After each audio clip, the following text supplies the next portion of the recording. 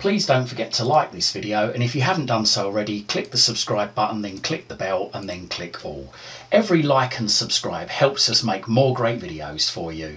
Okay, so this video shows you how to download and install the Fire TV app on your Android phone. I'm hopefully doing a video also for the Apple phone and tablet.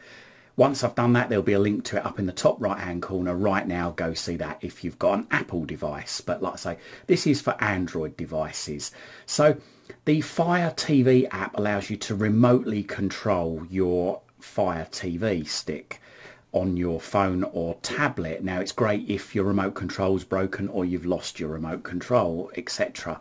So here's how you download it. So just go to the Play Store on your Android phone, tap search up the top there, okay, and then type Fire TV. So that's Fire Space TV. And then press the search button on the phone and you should see it come up there, Amazon Fire TV, and it's got this orange sort of logo there. So once you've got it, just tap install and this bit might take a little bit of time. Just be patient with it and uh, it's now downloading and uh, after that it will start to install and we'll just have a quick run through of the app to let you know what it does and how it operates. Okay, so it's downloaded, it's now installing, that took a little while. Again, just be patient with it. There we go, it's now installed, so just tap open. Now at this point you must ensure that you're connected to Wi-Fi and in particular you're connected to the same Wi-Fi that your Fire TV is connected to, otherwise this won't work. So there you go, mine's just come up there, Chris's Fire TV, so I tap on that and then what will happen is, there you go, it'll tell us a code and we have to enter in the code that appears on our screen on our phone or tablet. So there you go, I'm just doing that and there we go. We can now remotely control our Fire TV stick with our phone.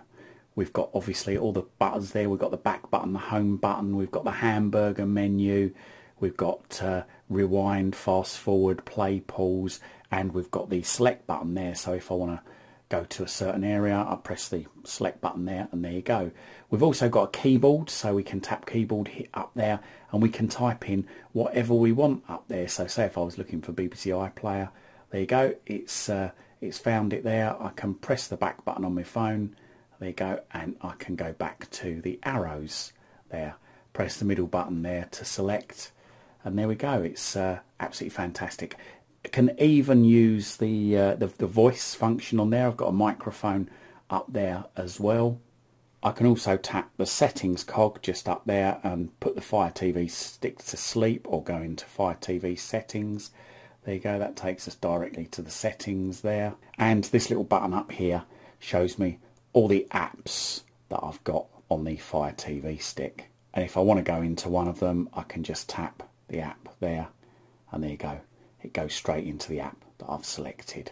So a great little feature to complement your remote control or to replace it if it's lost or broken on your Fire TV stick. Hope this guide helps. Thanks very much for watching.